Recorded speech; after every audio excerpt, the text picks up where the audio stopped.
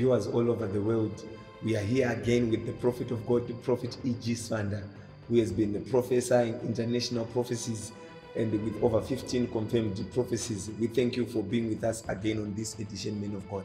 It is a pleasure. Thank you so much.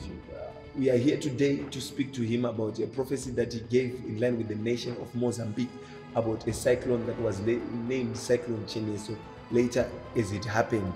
And it hit specific places, in Vilankuli, uh, Neva Mamboni, and Beira. So, men of God, is it in the will of God for such things to happen? No, it was not in the will of God.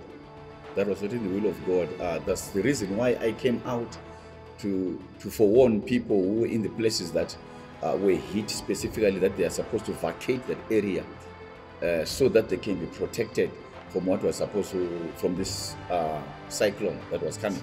Yes. So instructions are very important when it comes to men of God. Uh, so could you not pray and stop this men of God? Uh, what I can say is uh, when God speaks, sometimes you have to follow what the instruction that He would have given you. When He reveals something and He says, pray about this, you can pray and you stop it. And when He says, go and tell people to move, this is coming. I'm not supposed to pray there. My, my duty as a prophet is to take the message to the people as it is. They are supposed to vacate the area. Cheneso is coming. So, men of God, how do you de- then deal with these things that are out of the will of God that are happening in the world? You know, for the past 20 years, I've been having a problem uh, with people eh, who are responsible for certain in certain areas. You know, when God speaks, sometimes you know, uh, you try to speak or address the issue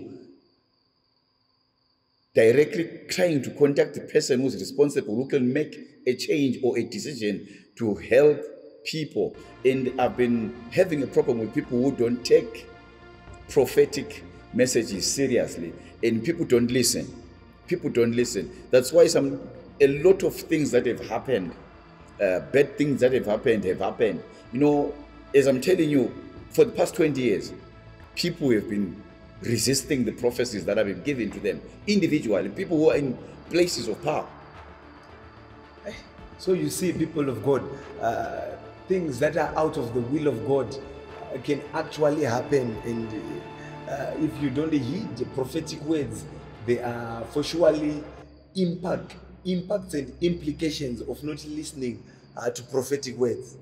That's very true. Recently, I, I prophesied about uh, the, the, the nation of China, of what they are doing, and I said God is, going, is going to judge the nation of China. I, I saw an earthquake hitting that nation uh, after they've not done anything in line with what I specifically stated in the prophecy. And that's exactly that's what's going to happen if they don't obey the prophetic message. Thank you, men of God. Uh, although it's a sad note, but uh, we hope those that are in power will listen. Uh, thank you, viewers all over the world, for being with us. You can get in touch with us on, on the details on our screen, or you can also get in touch with us on all of the social media platforms all over. Thank you.